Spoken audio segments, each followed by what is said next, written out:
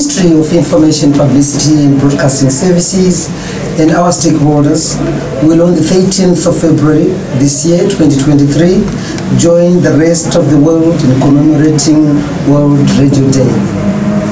The day is set aside every year to celebrate radio and how it shapes people's lives.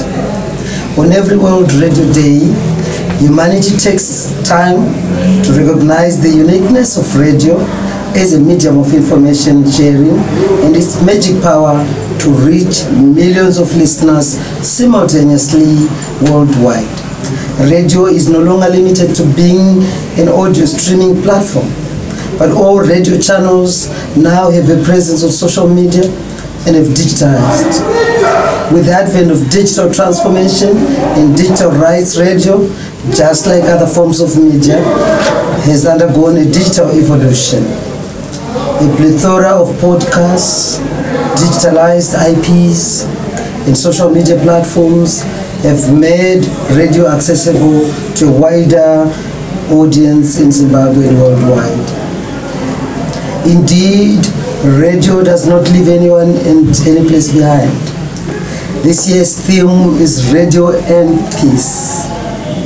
This theme is a perfect fit for Zimbabwe as we go into harmonized elections later this year.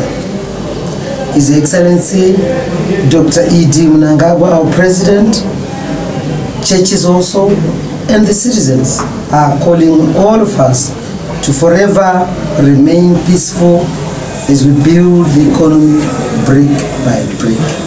Nyika inovakwa nevene.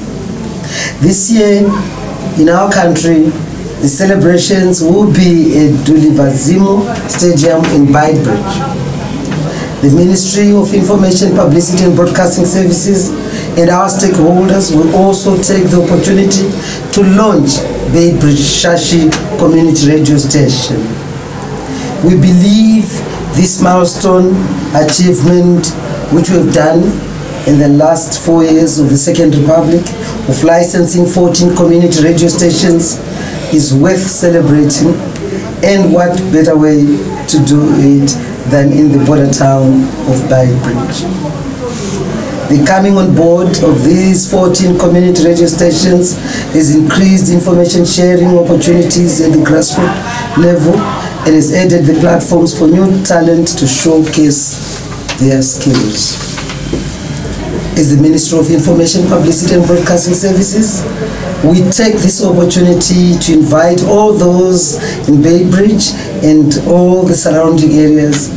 Please do come and be part of the celebrations at Dulivhadzimo Stadium where you will get an opportunity to interact with your favorite radio personalities and musicians. We want to see you there. I thank you.